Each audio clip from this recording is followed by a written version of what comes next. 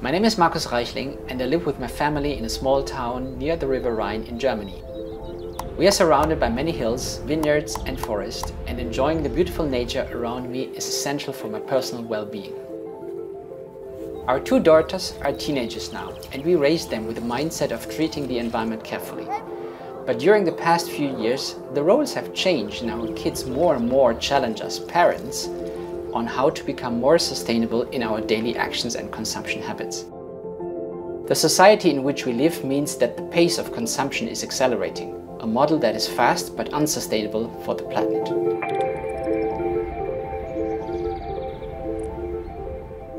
I have been working for my entire business life in environmental and sustainability functions and for 17 years now with Panasonic in Europe. My current role is General Manager Green Transformation which aims to promote the concept of circular economy within Panasonic globally. In developed countries, the current consumption habits require much more resources than this Earth can provide us in the mid and long term. I'm concerned because I see the real environmental challenges like global warming, depletion of natural resources, the loss of biodiversity. We cannot continue our current way of doing business. It poses big risks on future life. Until now, we have lived with linear production models. In other words, we extract, produce, consume and discard. So the benefit of a circular business model is to minimize that impact on the environment. The less material we use, the less energy we need to exploit them, the less CO2 emissions will be created.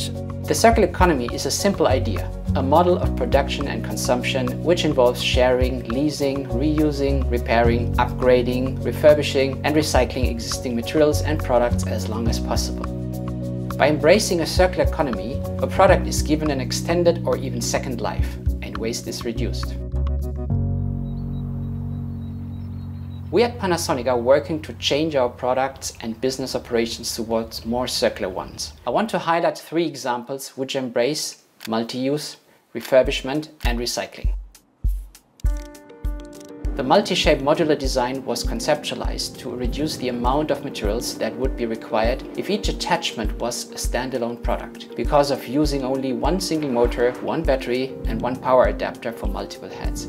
Here, circularity in design means you have the main unit with the option of purchasing various attachments for different purposes. Panasonic is still continuing producing and selling individual products. But with a MULTISHAPE, we would like to offer to the customer a more sustainable, more responsible solution, which we estimate has a lower environmental impact compared to buying all the devices separately. Extending the lifetime of used products is just as important as developing new multi-use ones. So we have begun refurbishing products which are returned by customers back into a condition where they can be sold and used again. It is our intention to extend our refurbishment business in Japan to various other products, but it is still in the planning stage. What we are trying in the Utsunomiya factory is to learn how we can maybe give a used product a higher value, a higher benefit to the customer. Not only the repair, but also take the next step to upgrade the product A third circular economy example is our more than 20 years engagement in recycling business. All electronic producers have to cover their recycling obligations, but usually this is done via third-party organizations. Because of the home appliance recycling legislation in Japan, we decided to be proactive and go beyond producer obligations of that law.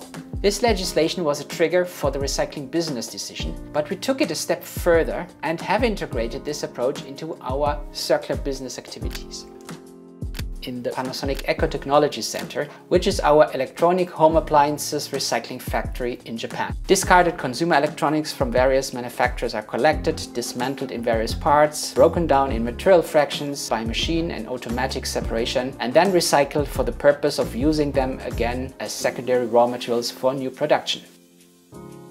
For my generation already, um, I would say we need to learn from the younger people um, how to adjust, how to adapt to the new situation that we have around in this world.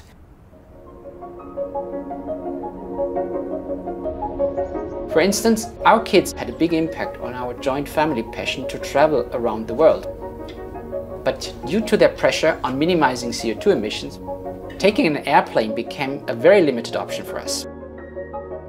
Changing our habits towards more regional traveling.